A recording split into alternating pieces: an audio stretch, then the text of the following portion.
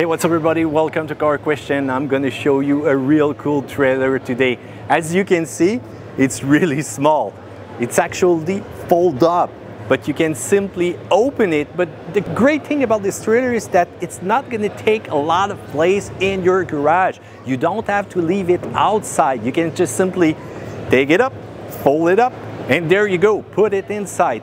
There is many size that you can go for. This is a smaller one, but as you can see, it's not really large, it's not really high, but as soon as you're gonna fold, even the biggest one, even just like the one right there, it's not gonna be that large. It's gonna be a little bit higher though, but you're gonna be able to move it and simply hide it into your garage. So this is one really cool trailer that it's once again made in Quebec.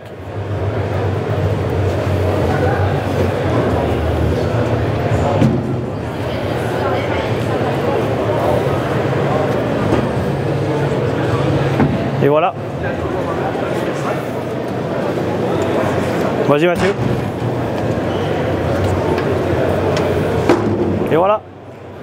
As you can see, my friend Steve, he didn't even need my help. And it's really, really cool. So what do you think about that? Comment section down there below. Thumbs up, subscribe.